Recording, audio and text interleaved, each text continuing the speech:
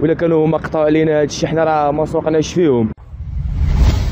وهذوك ناس ناكرين الجميل الجزائر ماشي في مصلحتها دير هادشي هذا. بحال دابا اتبع علينا المسافة من ناحية السوايع والتكلفة. والجزائر كتحاول تصرف هذه الخسائر الدبلوماسية ديالها. فكروا شوية في هذا القرار اللي داروا لأن قرار جائر. آه بصراحة هذا حقد دفين هذا آه، تيرجع التاريخ ديالو ل 1963 والمغرب قدم للجزائر إعانات مادية ومعنوية والدليل على ذلك أن الوزارة ديالها نهار باش تشكلت حكومه ما كانوش عندهم سيارات. حسن الثاني الله يرحمه هو اللي صيفط لهم السيارات. وهذوك ناس ناكرين الجميل وحنا ما كنعترفوش بهم لأن حنا الشعب الجزائري شقيق. ولكن هذوك العجزة ناس اللي ما عندهم ثقافة كبرانات مقاجين deuxième classe يعني في l'armée française وصلوا للحكم. لا لا عن طريق الديمقراطية ولا عن طريق انتخابات ولا عن طريق استفتاء. الانتخابات اللي اللي دازت ان الدليل على ذلك الشعب القبايلي صوت بواحد في المئة والآخرين 23% واش هذه في نظرك ديمقراطيه أما بالنسبة للجزائر غير يهنيونا لأن هذا الشيء كله الحسد. الحسد والحقد.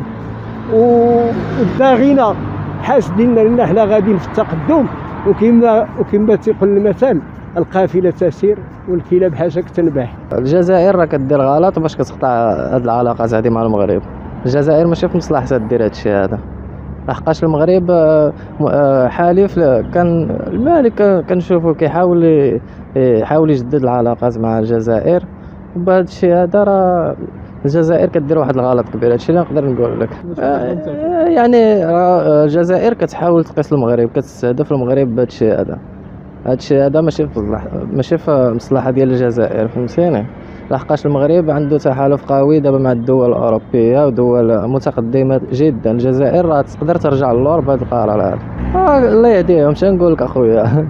هذا الشيء هذا راه ماشي في مصلحتهم هذا الشيء اللي نقدر نقول لكم يحاولوا يتراجعوا على هذا القرار وإن شاء الله ما يكون غير خير. آه، بحال دابا هذا القرار هذا ما عجبنيش في الحقيقة كاع.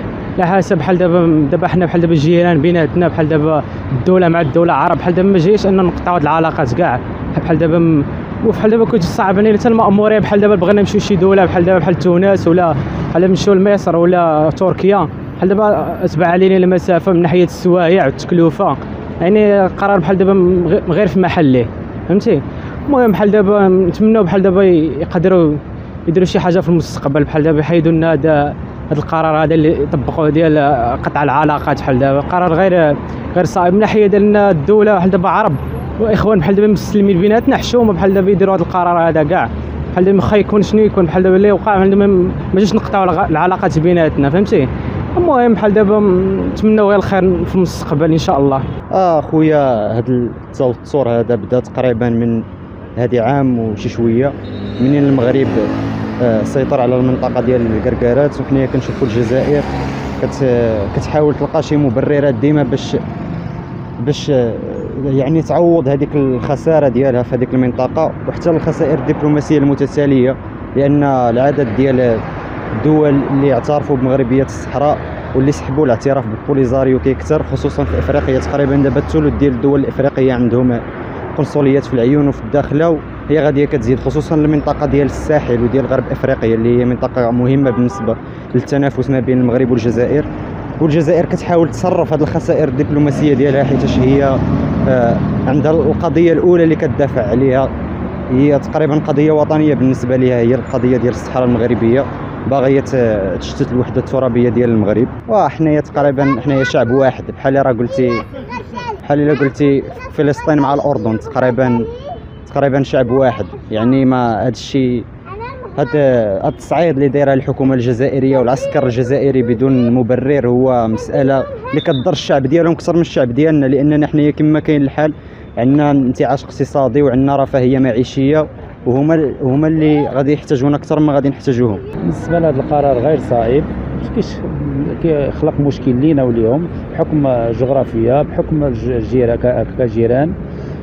كنتمنوا يتراجعوا على هذا القرار لأن ضرر بين الشعوب بجوج.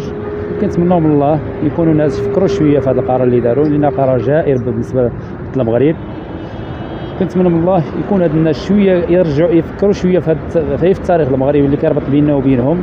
هذا قرار غير صائب. وتنتمنى من الله هاد الناس يكونوا يرجعوا للصواب ديالهم. لأن حنا بالنسبة للشعب الجزائري حنا الحمد لله شعب واحد كنمثلوا شعب واحد. وكتبقى الكابرانات والجزائر الجزائر هي اللي حاكمة الكابرانات هما اللي حاكمين. كنتمنى من هذا العسكر يتراجع على هذه القرارات هاد الجنرالات يتراجعوا على القرارات ويكونوا على يكونوا على صواب.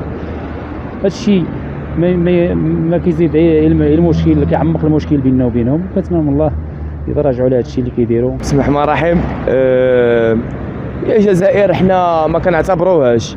ولا كانوا هما قطعوا علينا هادشي حنا راه ما سوقناش فيهم. البارح شفت واحد الطيارة كانت غادا من الرباط لتركيا.